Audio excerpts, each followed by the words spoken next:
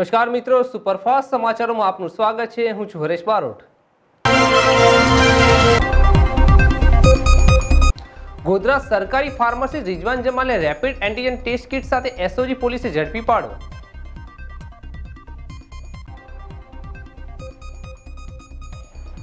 સંભવિત તોકતે વાવાઝોડાને લઈને વલસાડ વહીવટતંત્ર સજ્જ બન્યું. સંભવિત ખતરાને લઈને તંત્ર દ્વારા તમામ તૈયારી કરી દેવાઈ.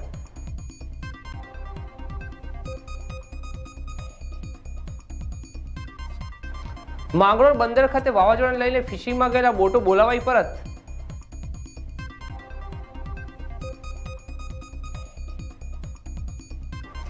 જેતપુર અને જામકુંડમાં લેવા પડેલ કન્યા છાત્રાલય ચારસો બેડનું કોવિડ કેર સેન્ટર વિનામૂલ્યે ચાલુ રહ્યું છે ત્યારે લોકોને કોઈપણ જાતની મુશ્કેલ ન પડે અને કોઈપણ જાતના ચાર્જ વગર ઓક્સિજનની સાથે કોવિડ કેર સેન્ટર શરૂ કરેલ છે, જ્યાં કોરોના દર્દી સાથે તેના પરિવારજનોને પણ પૂરતી સુવિધા આપવામાં આવી રહી છે.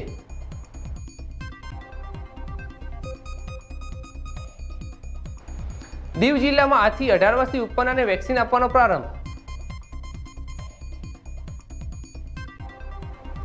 નર્મદા જિલ્લામાં કોરોનામાં પણ પૂર બહારમાં ખીલી ઉઠી છે. ટીમરૂપાની સિઝન કોરોના કાળમાં ચાલુ સિઝનમાં આઠસોથી વધુ કુટુંબ ચાલુ સિઝન રોજગારી મળીને એક્યાસી લાખની આવક થઈ. બનાસકાંઠાના પાલનપુરની હોસ્પિટલના ગતરોજ મુખ્ય હોસ્પિટલના દ્વારાગત દર્દીની સારવાર ન મળતા જીવ ગુમાવવાની ઘટના સામે આવી હતી.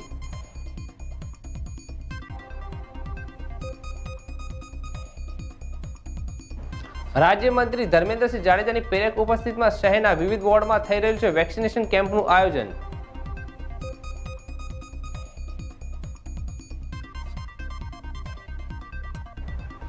સાબરકાંઠા જિલ્લામાં વિજયનગર તાલુકા સહિત ધરતીપુત્રે અખાતના શુભ મુહૂર્તમાં ખેતરે જઈને કૃષિ વર્ષનો પ્રારંભ કર્યો.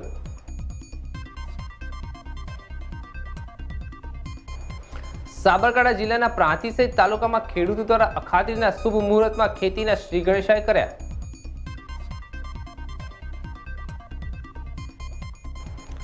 સાબરકાંઠા જિલ્લાના પ્રાંતિજ ખાતે આવેલા સિવિલ હોસ્પિટલ ખાતે રાષ્ટ્રીય શૈક્ષિક મહાસંઘ દ્વારા કોરોના વોરિયર્સનું સન્માન કરવામાં આવ્યું.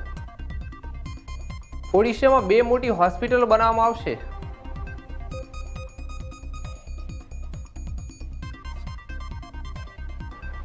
ઇઝરાયેલે એક હજાર રોકેટ છોડ્યા અને હમાસના અગિયાર કમાન્ડો માર્યા ગયા.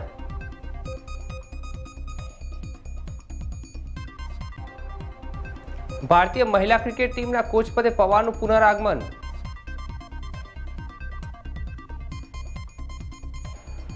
ડિસેમ્બર સુધી દરેક ભારતીયને લાગશે વેક્સિન, ડોક્ટર પોલ.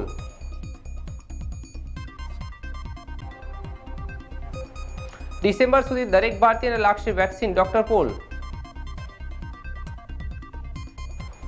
કોરોના એક જીવ તેને પણ જીવવાનો અધિકાર. ત્રિવેન્દ્ર રાવત.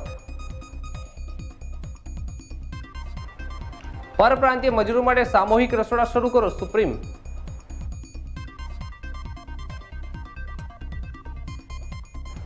ગુજરાત પર કોરોના બાદ આવશે વધુ એક મોટી આફત.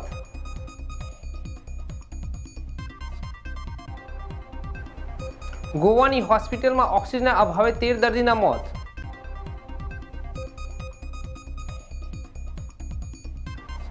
દાદરાનગર હવેલીમાં દારૂ ખરીદવા કરાવવો પડશે કોરોના ટેસ્ટ.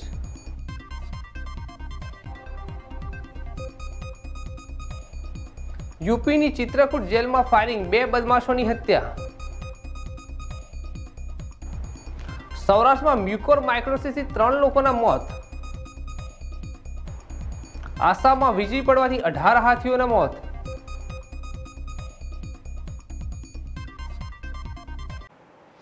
સુપરફાસ્ટ સમાચાર અહીંયા સમાપ્ત કરીએ છીએ. અને સમાચાર માટે આપ જોતા રહો જેડએસ ટીવી.